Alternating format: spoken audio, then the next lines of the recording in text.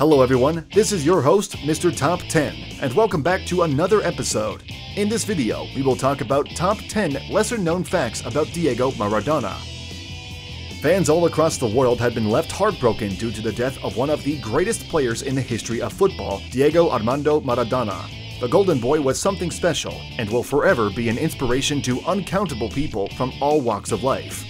Here, we remember the legend by having a look at some of the lesser known facts about Diego Maradona. Before we move on, please don't forget to subscribe to our channel. Number 10. He is the fifth highest scorer for Argentina. Behind Messi, Batistuta, Sergio Aguero, and Crespo, Maradona is Argentina's fifth highest goalscorer of all time, managing to find the back of the net 34 times in 90 games for the national team. Number 9, he is the only player to break the transfer fee record twice. Maradona joined Barcelona from Boca Juniors for £5 million, a world record transfer fee at the time. Two years later, he joined Napoli for a fee of £6.9 million, smashing the transfer record once again. Number 8. The two best goals of his career were scored 4 minutes apart.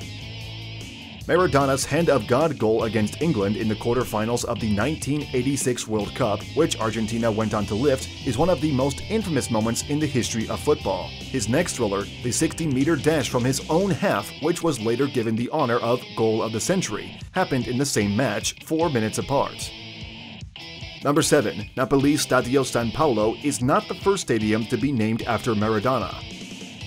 That honor goes to the club that he started his playing career with, Argentinos Juniors. Their home stadium is called the Estadio Diego Armando Maradona and is a show of respect to their greatest prospect ever.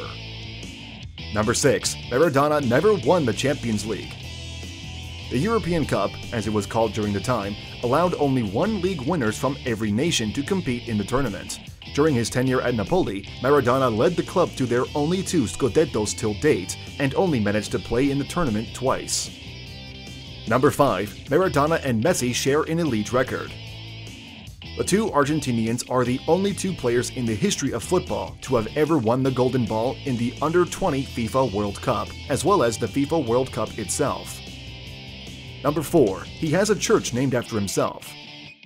Even though Maradona started the church himself, it would have not been much of a surprise. The Church of Maradona was established by the fans of Buenos Aires in 1998.